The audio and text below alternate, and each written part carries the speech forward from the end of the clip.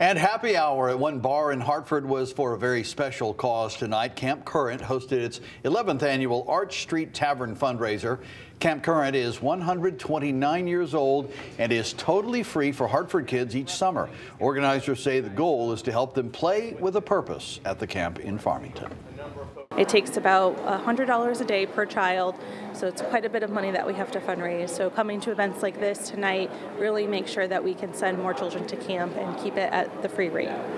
Fox 61's Jim Altman served as MC for the fundraiser, where the theme was to drive the future forward for kids in Hartford. It is a